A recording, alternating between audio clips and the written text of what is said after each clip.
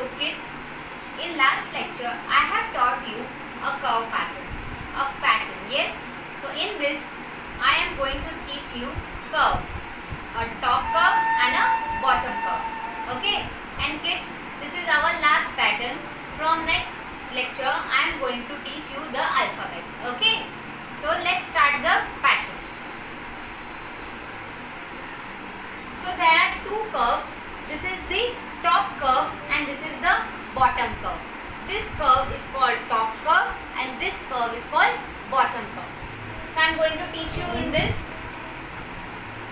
Kids, you have a red and blue line book? Yes.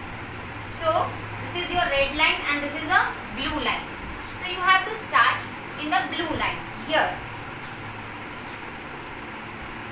Curve. This is called top curve. Okay kids? Like this you have to continues you have to write. This is a this curve is called top curve.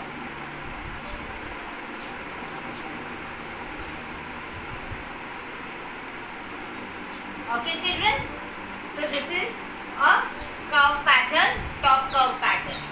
Okay now I am going to teach you the another that is bottom curve pattern. So in this you have to start from bottom like this. And you have to touch your blue line to blue line. Okay kids? Like this.